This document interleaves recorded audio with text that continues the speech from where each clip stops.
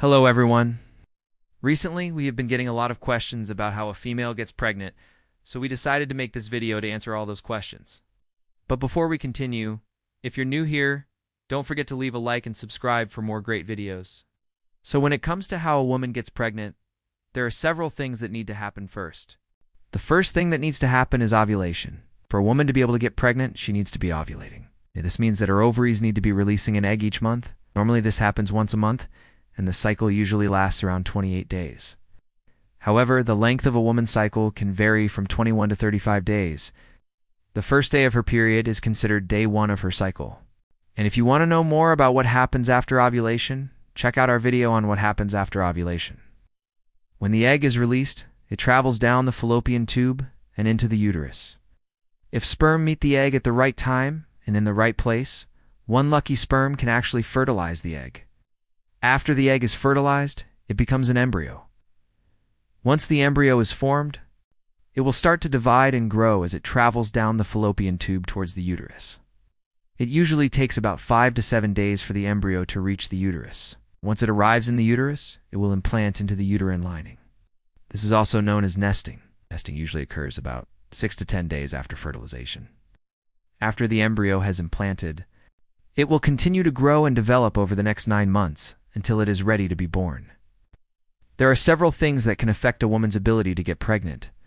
These include age, overall health, and reproductive organs. A woman's fertility begins to decline as she ages, especially after 35.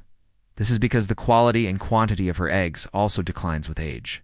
Certain medical conditions, such as polycystic ovarian syndrome, PCOS, can also make it difficult for a woman to get pregnant. This is because PCOS can cause irregular ovulation. Women who have endometriosis may also have difficulty getting pregnant.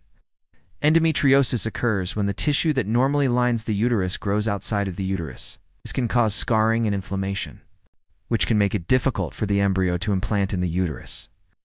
Did you know that the chances of getting pregnant each month are very low?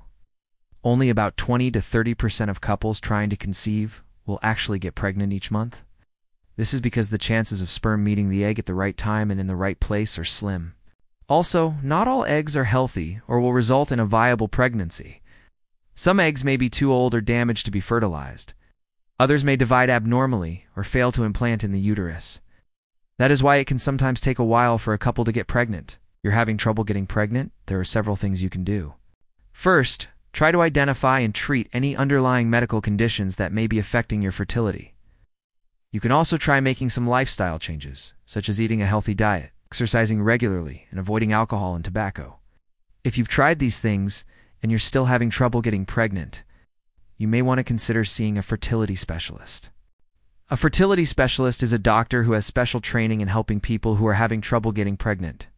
They can perform tests to identify any problems that may be contributing to your infertility and recommend treatment options. There are many different treatment options available, such as medication or surgery. In some cases, a fertility specialist may also recommend in vitro fertilization, IVF. IVF is a procedure in which eggs and sperm are fertilized outside of the body and then the embryo is transferred into the uterus.